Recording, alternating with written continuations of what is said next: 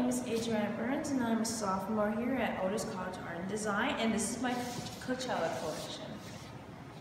Right now you are looking at my muse. She is Zendaya and she is based out of all these three models that you see before you. This is my Coachella, uh, Coachella inspired outfit. This is my inspired band that I made myself. It is called Roxanne and the Angry Zombies, and this is the logo for all three of my Coachella collection. Um, throughout this collection, I had a lot of fun creating my second look.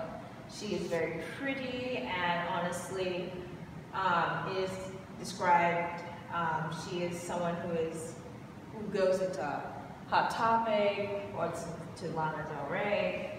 She is just a very beautiful person, and I just wanted to design this as someone who could um, just be really kind of casual at Coachella, really.